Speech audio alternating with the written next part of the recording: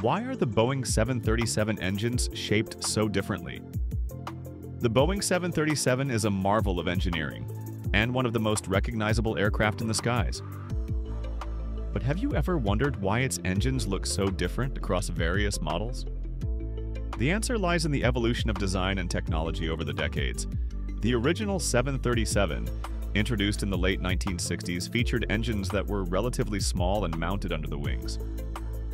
This design choice was revolutionary at the time, allowing for a wider fuselage and more passenger capacity.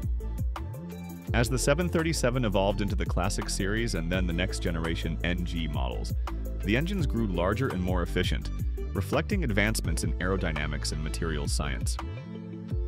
The introduction of the CFM56 engines in the 737 Classic series marked a significant leap in performance with larger fan diameters and improved thrust capabilities.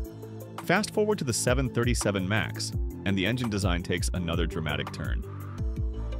The MAX series features the LEAP 1B engines, which are not only larger but also incorporate cutting-edge technology such as carbon fiber fan blades and advanced aerodynamics.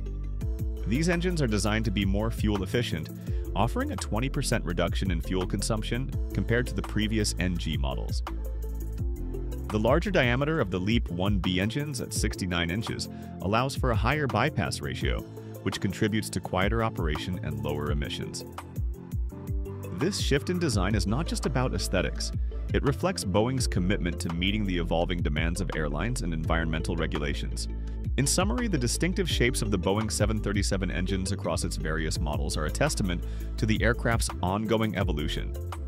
From the original underwing engines to the larger, more efficient LEAP 1B engines of the MAX series, each design change has been driven by the need for improved performance, efficiency, and passenger comfort. As technology continues to advance, we can expect even more innovations in aircraft engine design, ensuring that the Boeing 737 remains a staple in the aviation industry for years to come.